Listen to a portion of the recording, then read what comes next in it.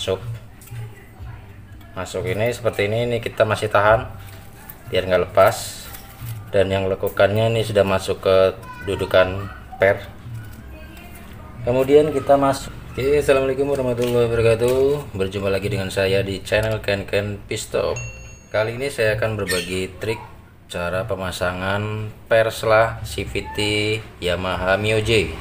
Di motor Mio J biasanya pemasangan Perslanya ini agak ribet, lebih sulit dari Mio. Ini pernya sama dengan Mio, Mio lama, Mio karbu.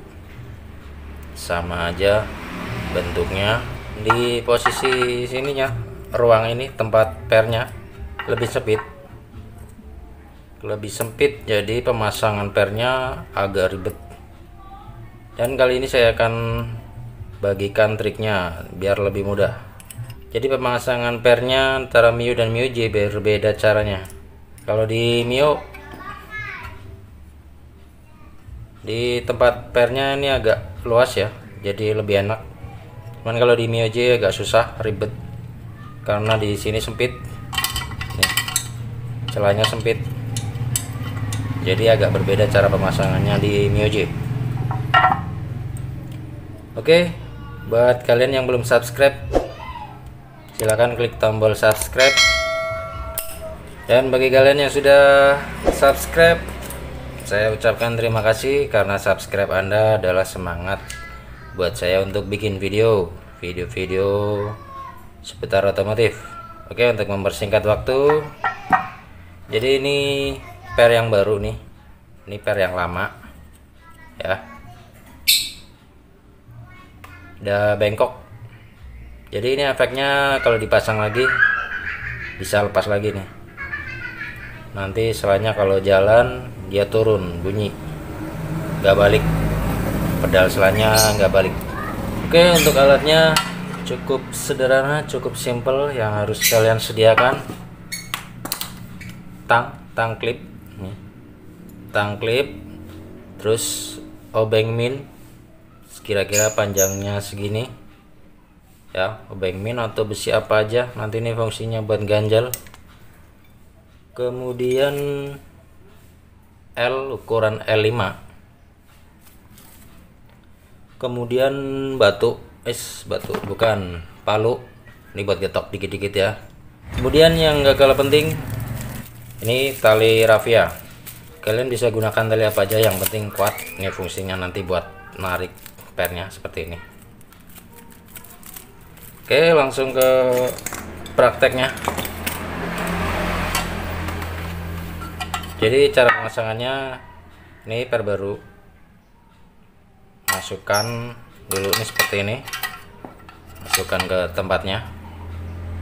Kemudian ambil obeng min atau besi yang ukuran panjangnya segini kira-kira ini buat nahan aja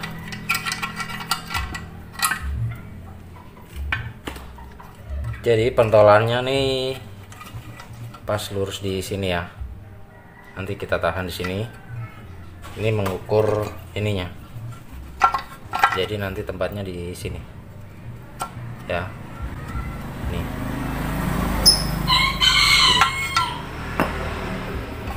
Kemudian kita pasang tali. Tali rapi ya. Di ujung sini. Yang dilekukannya lekukan per pernya taruh sini oke. Kemudian obengnya kita taruh sini ini buat nahan. Ini. Tahanannya dengan ini. Nih. Masukkan sini. Ya. Kira-kira seperti ini. Kelihatan ya kemudian kita tarik talinya.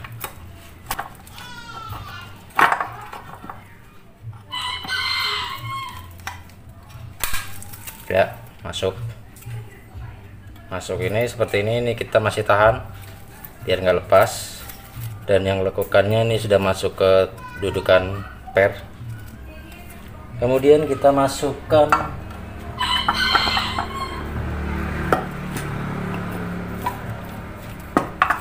kemudian kita masukkan gearnya as gearnya nih. Ya. Oke kalau udah masuk kita dorong kita lepas penahannya. Ya. Dan sampai di sini ini masih ada salah ini belum nempel sama tempatnya as ini masih renggang. Ini juga masih di ujung. Kemudian kita dorong dari sebelah sini. Nama backmin nah, setelah dorong as gearnya kita ketrok dikit nah seperti ini. Ini udah rapet.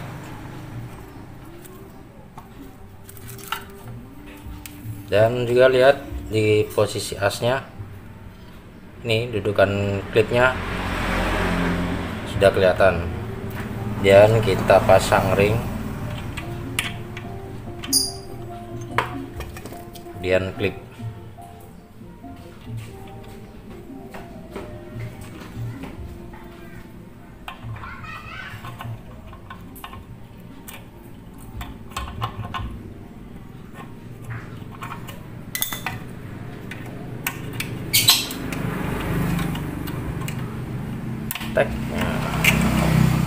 sampai bunyi teknya berarti udah masuk di jalurnya jalur klipnya.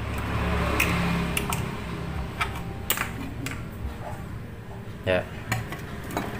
Kemudian seal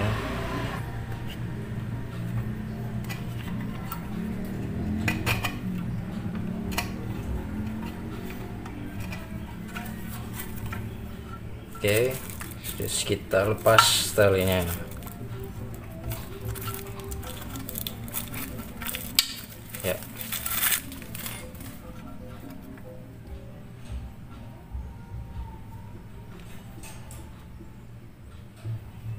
seperti ini sudah selesai. Kemudian kita cek berat bebasnya.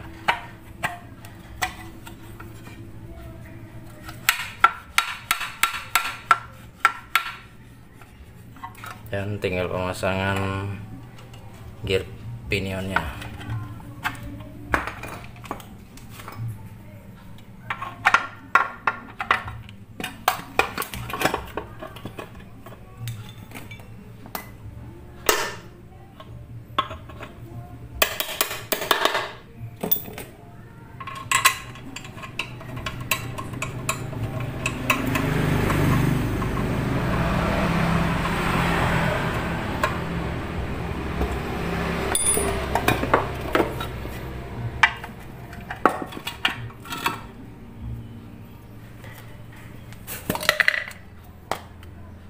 jangan lupa ini alur pernya kita kasih pelumas grease